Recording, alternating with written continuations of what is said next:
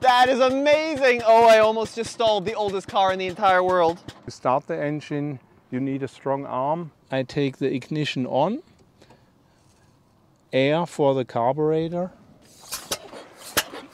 It works. It's the Benz. So the steering tiller, very light.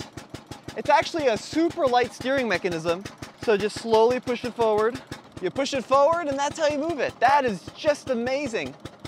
And then the brake is just a pull back. So basically the engine operates at a fixed RPM and then you control the speed using a clutch-based lever. And there we go. Look at that.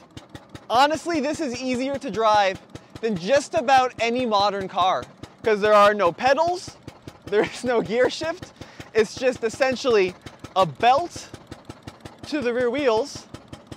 You push it forward and that's how you move it.